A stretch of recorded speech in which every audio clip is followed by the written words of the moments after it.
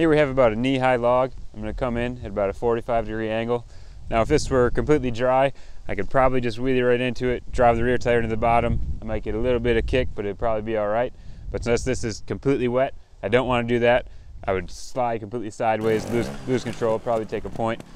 So the goal here, whenever it's wet like this, you don't want to touch your front or rear tire anywhere below the top. So you're shooting for everything to just touch right on top. That's going to be your best bet to keep from slipping and, and keep those feet on the pegs. So to do that, I'm going to come in nice and slow. There's no reason to go fast at stuff like this. It's all about timing and precision, so going fast is just going to make that harder. So I'm going to wheelie a little bit further back than I would a typical zap.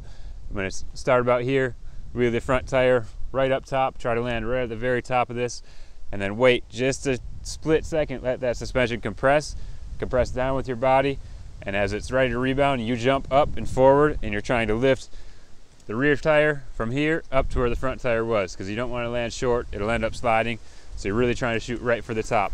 Another little blip of the throttle and pop of the clutch as that suspension is rebounding is going to help lift that rear tire, and it's all about timing, so you want to make sure right as you're jumping, that's when you pop the clutch and give it just a little bit of throttle. You don't want to use too much or it'll drive into the bottom still.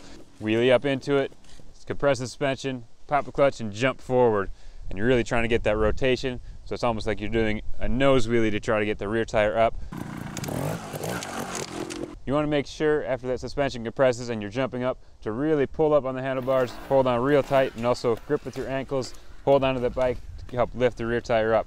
When the rear tire lands on top, you want to lean back for traction, get that weight over the rear end, and land as soft as you possibly can.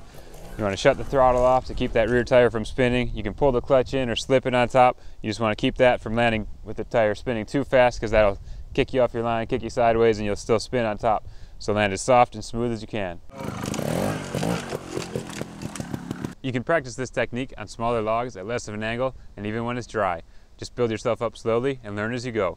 Or Forget everything I said, just try to bunny hop over them.